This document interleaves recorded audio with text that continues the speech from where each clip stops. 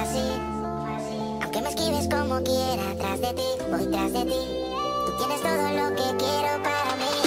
Y tú tan por ahí, detrás de ti voy a seguir. Yo sé que lo bueno toma tiempo, baby. Es que me gustas tú, Fala galera do canal Beleza, quem falou Johnny do Futebol de Elite. Hoje, como toda terça-feira, tô aqui para vocês especial Conferência League, hoje a respeito sobre o Balcânia Futebol Clube.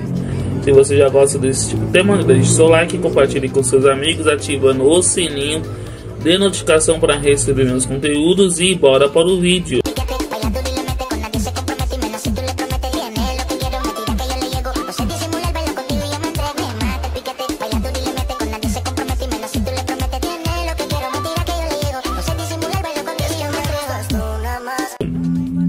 O Clube do Balcânia Futebol Clube nasceu em 1947.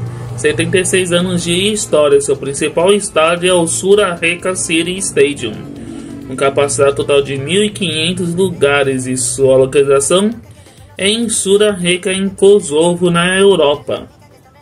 O clube era o antigo Rinia para participar de competições na época. Em 52, o clube vira-se profissional.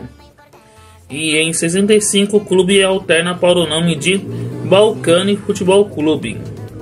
E o clube possui alguns títulos que são eles: o, o primeiro campeonato conquistado de, da Superliga Kosovo 21-22 e uma Supercopa Kosovo em 2023. Esses foram os títulos conquistados pelo Balcani Futebol Clube de Kosovo, na Europa.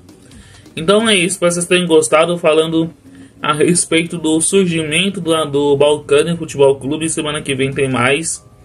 E durante a semana também, espero que vocês tenham gostado. Deixe seu like, compartilhe com seus amigos, ativando o sininho de notificação para receber meus conteúdos rumo a 2 mil inscritos. Falando sobre esses clubes também que são desconhecidos e os conhecidos da galera. Então, encerrando aqui a transmissão, fiquem todos com Deus e fui.